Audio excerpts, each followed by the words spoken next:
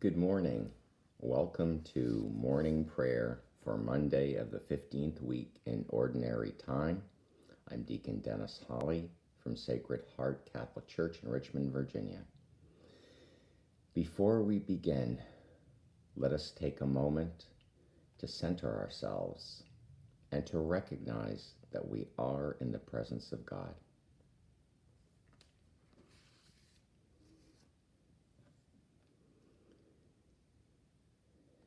Let us begin as we begin all our prayers. In the name of the Father, and of the Son, and of the Holy Spirit. Amen. O God, come to my assistance. Lord, make haste to help me. Glory to the Father, and to the Son, and to the Holy Spirit, as it was in the beginning, is now, and will be forever. Amen. Alleluia. Blessed are they who dwell in your house, O Lord. Our first psalm is Psalm 84, entitled Longing for God's Temple. How lovely is your dwelling place, Lord God of hosts! My soul is longing and yearning, is yearning for the courts of the Lord. My heart and my soul ring out their joy to God, the living God. The sparrow herself finds a home, and the swallow a nest for her brood. She lays her young by your altars Lord of hosts, my King and my God. They are happy who dwell in your house, forever singing your praise. They are happy whose strength is in you, in whose hearts are the roads to Zion. As they go through the bitter valley, they make it a place of springs.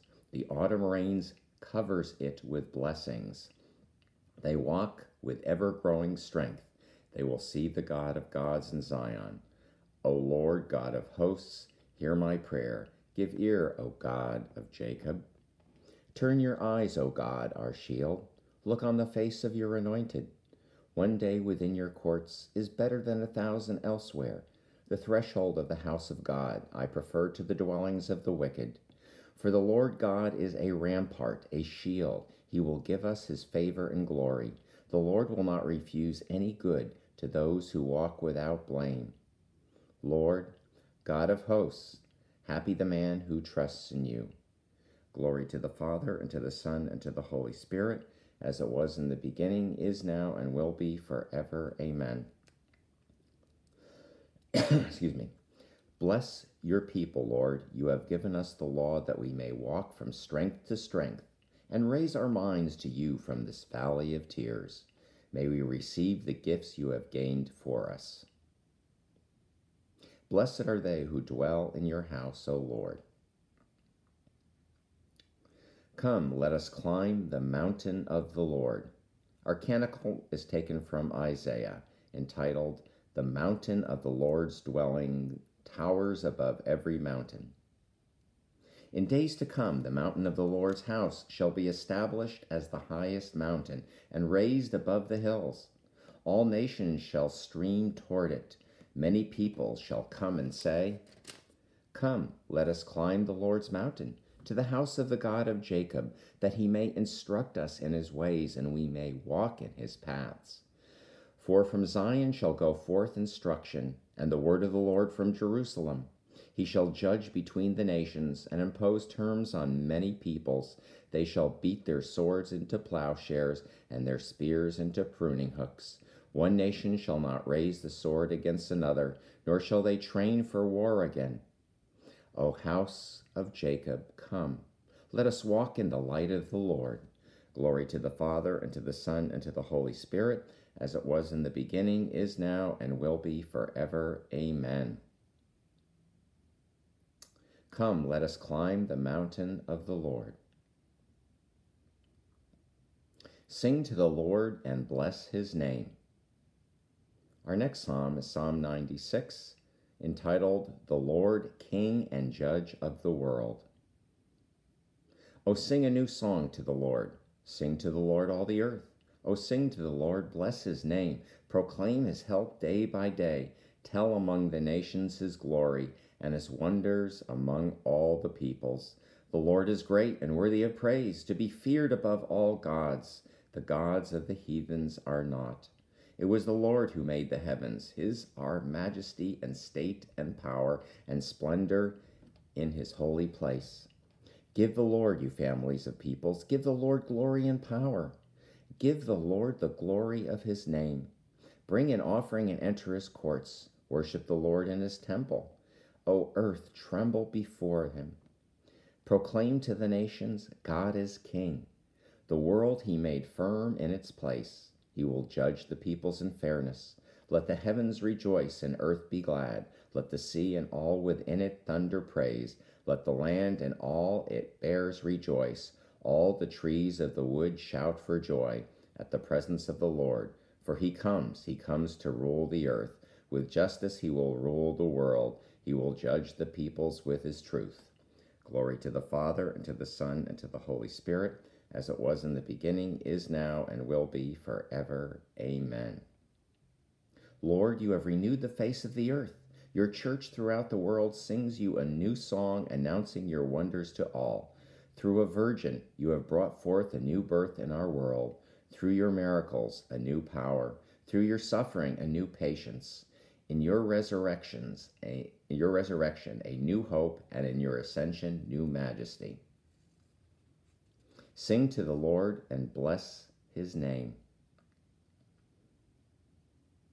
Our reading is taken from the letter of James.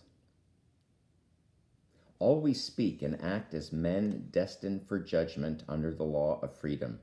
Merciless is the judgment on the man who has not shown mercy, but mercy triumphs over judgment. Blessed among us today is Saint Alexander Schmorell. He is a martyr of the White Rose, died in 1943. In the spring of 1942, a small group of university students in Munich formed an underground anti Nazi circle called the White Rose.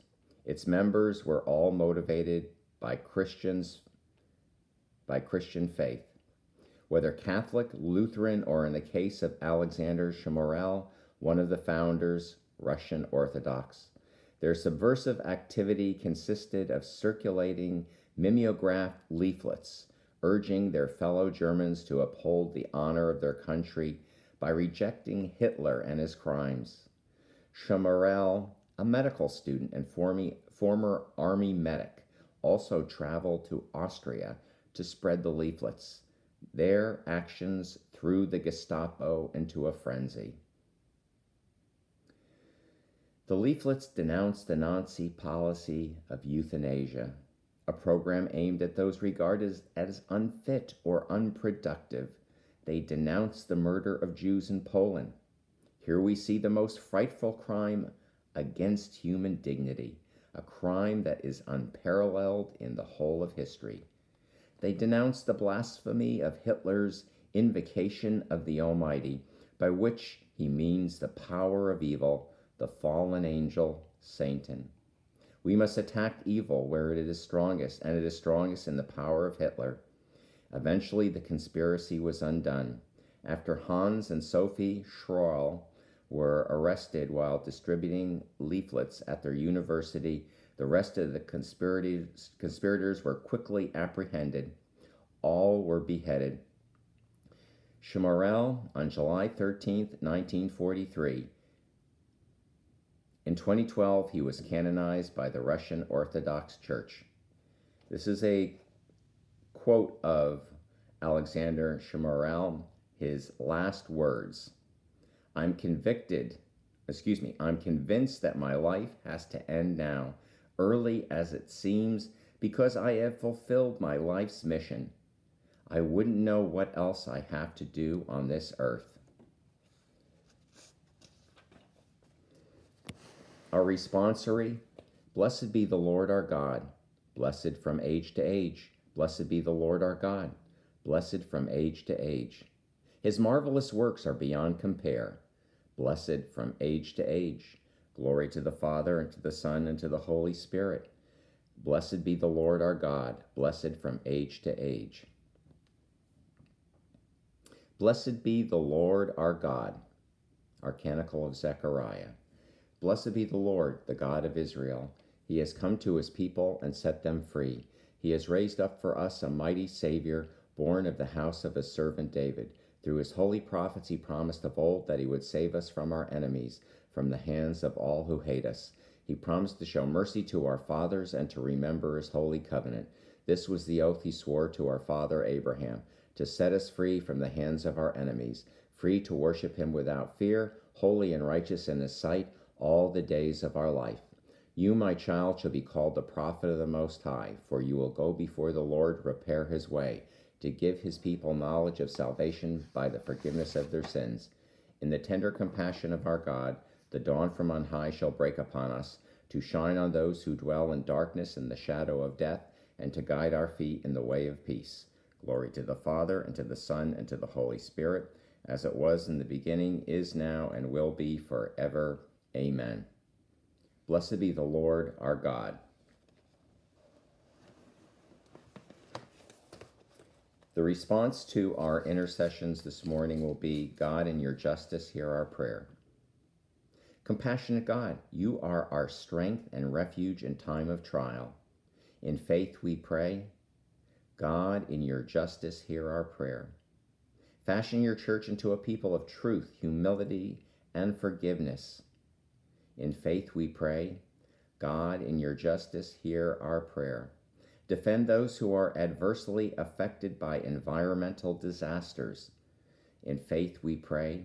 God, in your justice, hear our prayer. End all practices of torture and the training of child soldiers. In faith we pray. God, in your justice, hear our prayer. For Sacred Heart Catholic Church, our priests, deacons, deacon candidates, our ministers, our parish staff, but especially for our parishioners and those who may be sick or have passed away. In faith we pray, God in your justice hear our prayer. At the Savior's command and formed by divine teaching, we dare to say, Our Father, who art in heaven, hallowed be thy name. Thy kingdom come, thy will be done, on earth as it is in heaven. Give us this day our daily bread, and forgive us our trespasses, as we forgive those who trespass against us. And lead us not into temptation, but deliver us from evil. Amen. And our prayer for COVID 19. Holy Virgin of Guadalupe, Queen of the Angels and Mother of the Americas, we fly to you today as your beloved children. We ask you to intercede for us with your Son as you did at the wedding in Cana.